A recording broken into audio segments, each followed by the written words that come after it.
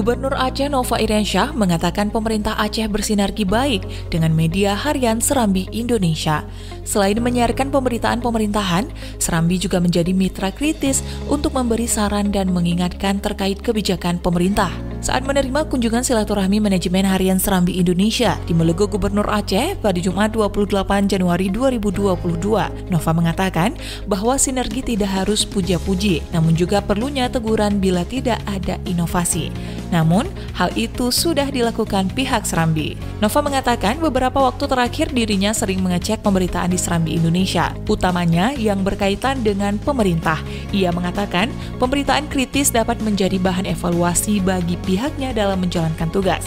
Lebih lanjut, Nova juga menceritakan sejumlah program rutin yang tengah digencarkan pemerintah Aceh, seperti donor darah rutin dan zikir pagi. Sebelumnya, pemimpin perusahaan media harian Serambi Indonesia, Muhammad Din mengatakan Kedatangan pihaknya bertujuan untuk bersilaturahmi bersama gubernur. Selain itu, pihaknya juga ingin berbincang tentang perkembangan terakhir pengelolaan pemerintah Aceh. Lebih lanjut, Muhammadin menyampaikan, di tanggal 11 Maret 2022, Serambi Indonesia akan menggelar acara Malam Anugerah Serambi. Dan ia mengatakan Gubernur Aceh bersama sejumlah kepala daerah lainnya akan mendapatkan penganugerahan dari Serambi Indonesia.